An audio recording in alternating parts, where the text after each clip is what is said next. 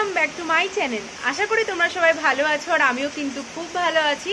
অন্য দিনের মতো আবারও আমার একটা নতুন ব্লগে তোমাদের সবাইকে ওয়েলকাম তোমরা তো দেখতেই পেলে, সকাল সকাল আমি ট্রেনে করে বাড়ি চলে আসলাম। আর মানে বাড়ি এসেছি অনেকক্ষণই আগে, খাওয়া দাওয়া করার পর একটু বসেছিলাম মানে এসে আর ব্লগ করিনি। তো আসার সময় আমি ঠাকুরনগর থেকে পরোটা নিয়ে এসেছিলাম। কুমারেশের পরোটা ঠাকুরনগরে যারা আছো বা খেয়েছো, তো তারা জানো যে ভীষণই বিখ্যাত খুব টেস্টি হয়। তো আসার সময় যেহেতু ঠাকুরনগরে নেমেছি, তো ওখান থেকে নিয়ে আসলাম, খাওয়া দাওয়া করে ভাই চলে গেল স্কুলে। আর আমি এখনও স্নান টান কিছুই করিনি, দেখতে আমি এখনও জামা কাপড়ও ছাড়িনি। তো খাওয়া দাওয়ার পরে একটু বসেছিলাম, মার সাথে একটু কথা টথা বলছিলাম। আর এখন হচ্ছে স্নান টান করে নেব। আর দেখো বাইরে কি বৃষ্টি নেমেছে, তোমাদের ব্যাক ক্যামেরাতে দেখাচ্ছি। বৃষ্টিটা বেশ ভালো জোরেই হচ্ছে। মানে এখন তো প্রায় বাজে বারোটা। তো বৃষ্টিটা বেশ ভালো জোরে হচ্ছে। একটু আগে দেখলাম পুরো একদম মানে রোদ উঠেছে, মেঘলা মেঘলা একটুও ছিল না। ফট করে মেঘ চলে আসলো আর বৃষ্টিটা শুরু হয়ে গেলো। মানে বর্ষাকালের বৃষ্টি এরকমই হয়। আমার কিন্তু বর্ষাকালটা সত্যি কথা বলতে একদমই ভালো লাগে না। আমার সব থেকে বেশি ভালো লাগে শীতকাল। এবার তোমাদের কি, কোন সিজন ভালো লাগে অবশ্যই আমাকে কমেন্টে জানিও। শীতকালে সব কিছু করে মজা আছে। মানে শাড়ি পরে সেজে গুজে ব্রাইডাল করে, যার জন্য আমি শীতকালেই বিয়ে করেছিলাম। ওর জন্য আমি বাবাকে বলেছিলাম যে, আমি যদি কখনো বিয়ে করি, তাহলে কিন্তু আমি শীতকালেই বিয়ে করব। আমি গরমকাল বা বর্ষাকালে বিয়ে করতে চাই না। তো বাবা আমার কথা শুনে তাই দিয়েছিল। আর যাই হোক কথা বলতে বলতে আমি স্নান করেও চলে এসেছি। স্নান করে চলে এসে আগে চুল টুল বেঁধে নিলাম। এবার হচ্ছে সিঁদুরটা পরে নেব। আর আমি কিন্তু আমার ব্যাগের মধ্যে সবসময় সিঁদুরটা রেখে দিই। মানে আমার ওখানে মানে বারাসাতে আর কি আমার সিঁদুরের কৌটোয় আর কি সবসময় সিঁদুর ঢালা থাকে। আর এই প্যাকেটটার মধ্যে মানে এই সিঁদুরের খাপটা সবসময় আমার ব্যাগে থাকে। ধরো যেখানে যাই আর সিঁদুর নিয়ে যাই। আর আমি কিন্তু এই গুঁড়ো সিঁদুরটাই পরতে ভালোবাসি। যখন মানে একেবারেই কোনো ইয়ে থাকে না, তখন মাঝে মাঝে আমি হচ্ছে গোলা সিঁদুর পরি। মানে যেটা হচ্ছে ব্লু হেভেনের সিঁদুরগুলো পাওয়া যায় না, আমি ব্লু হেভেনেরটাই পরি, বেশ ওটাই ভালো লাগে। তো এটাই আর কি। আর এখন হচ্ছে ও বাড়ি চলে এসেছে মানে ওর আজকে অফিস থেকে মানে অফিসে যায়নি, অন্য জায়গায় কি কাজ ছিল, তো সেখান থেকে ও বাড়ি চলে এসেছে ডাইরেক্ট অফিসে বলে আর কি।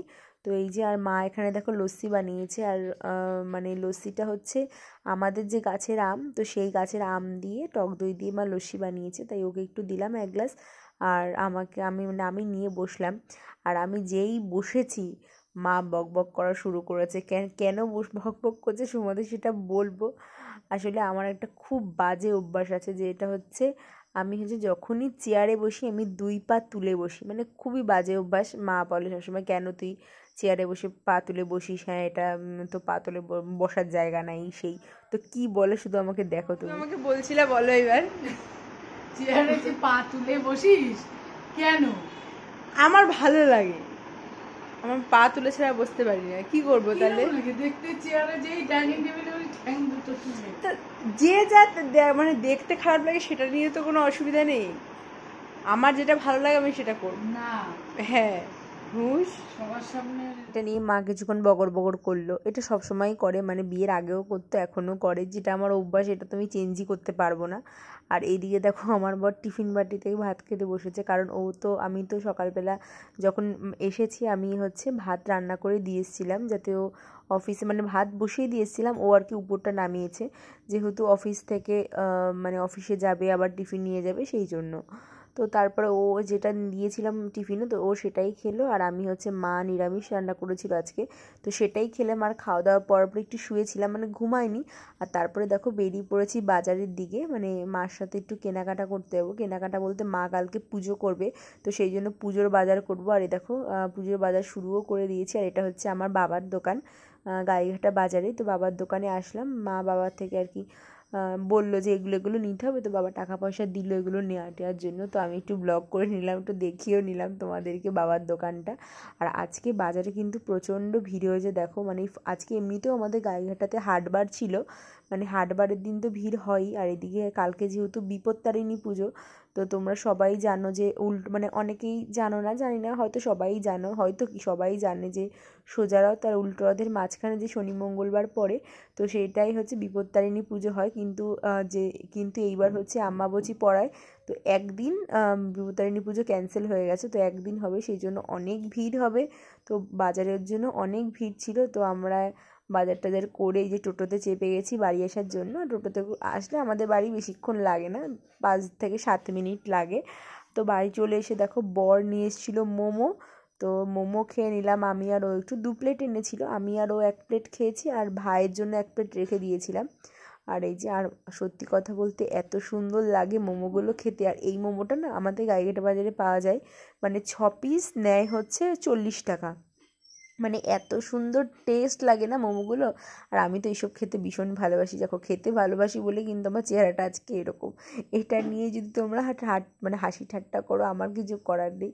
কিন্তু ছোটোবেলার থেকে আমার বাবা আমাকে এত খাইয়েছে এত খাইয়েছে যে আমি এখন আর সেটাকে কন্ট্রোলই করতে পারি না। মানে চেষ্টা করলেও ডায়েট করে আমি রোগা হতে পারি না। মানে কি দেখো আমার খাওয়া দাওয়া তো তোমরা দেখো যে সকালে ওটস খাই, রাতে রুটি খাই, দুপুরে ভাত। কিন্তু তাও আমার এরকম চেহারা, কারণ আমি যে যে ফাস্ট ফুডগুলো মানে কি, এইগুলোকে কন্ট্রোল করতে পারি না। মানে এইসব মোমো, তারপরে ধরো চপ বা ললিপপ এইসব ধরনের জিনিস আর কি, এগুলোকে আমি কন্ট্রোল করতে পারি না। আর আমার বর কিন্তু মানে যখনই বাজারে যাবে তখনই দেখো গাদাখানেক ফল নিয়ে এসছে। সো এইগুলো সব ওই বাড়িতেও কিছুটা নিয়ে যাব মানে শ্বশুর বাড়িতে। আর এই বাড়িতেও জন্য কিছু মানে অল্প কটা রেখেছে, কারণ মা তো আজকে ফল বাজার করতে গেছিলোই ঠাকুরের জন্য, তো সেখানে বেশি করেই নিয়ে এসছে।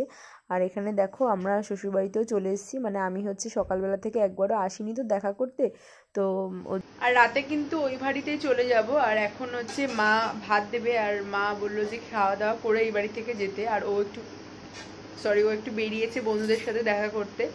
আর মা এখন ভাত দিচ্ছে, আর মা যেহেতু ভাত রান্না করেছে, ওর জন্য আমাকে রাতে আজকে ভাতই খেতে হবে। তো সেই জন্য ভাতটা খেয়ে তারপরে ও আসলে ওই বাড়িতে যাব। কারণ কালকে মা পুজো করবে। তো কি পুজো করবে? তো কালকের ব্লগেই তোমরা পাবে। মানে এই ব্লগটা তো কালকে দেখা, দেখতে পারবে আর কি তোমরা। আর কালকের ব্লগটা পরশু দিন দেখতে পারবে। তো কি পুজো টুজো করবে তোমাদের পরের দিনের ব্লগে বলব। তো সেই জন্য আমাকে আজকে ওই বাড়ি চলে যেতে হবে, কারণ সকালবেলা থেকে একটু কাজ ফাজ আছে, ওই বাড়িতে রান্নাবান্না আমার একার করতে হবে সব কিছু তো দেখো, মা আমাকে খেতেও দিয়ে দিয়েছে আর মা আজকে রান্না করেছিল ডিমের ঝোল। তো আমি থালা নিয়ে বসে হাতে একদম টিভিটা চালিয়ে নিয়ে বসেছি। টিভি দেখার জন্য সিরিয়াল দেখছি আর খাচ্ছি।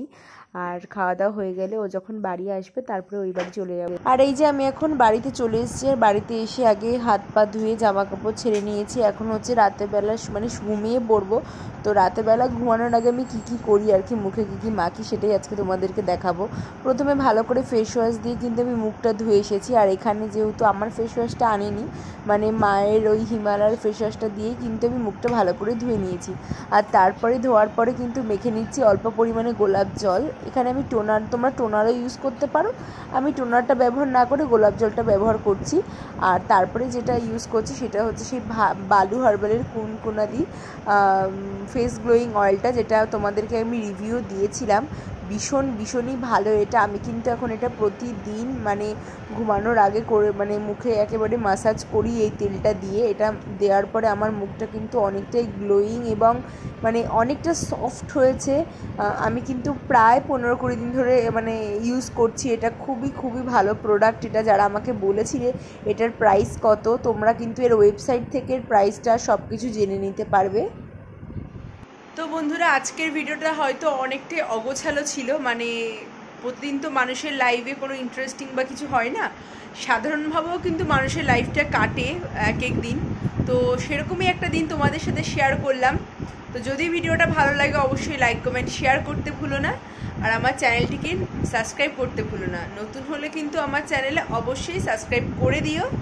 আর আরেকটা কথা, যেটা না বললেই নয়, সেটা হচ্ছে যদি আমি ভাবি যে ব্লগ দেব না বাট আমার ভালো লাগে না, মনে হয় কি যে প্রতিদিনই তোমাদের সাথে কিছু না কিছু অন্তত শেয়ার করি যাতে আমার মনটা খুব হালকা লাগে। তো সেই জন্যই আজকে এই অগোছালো ব্লগটা তোমাদের সাথে শেয়ার করলাম। তো চলো, আজকের জন্য টাটা, আবার দেখা হবে কালকের ব্লগে বাই